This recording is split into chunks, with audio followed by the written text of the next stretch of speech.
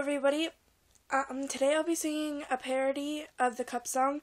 Please be noted this is being recorded on a HTC cell HTC cell phone, so it's not the best quality, but it is as good as it's gonna get.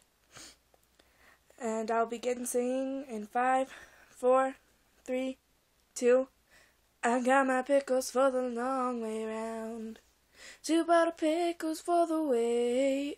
And I sure would like some sweet dill pickles. And I'm leaving tomorrow, what do you say? When they're gone, when they're gone.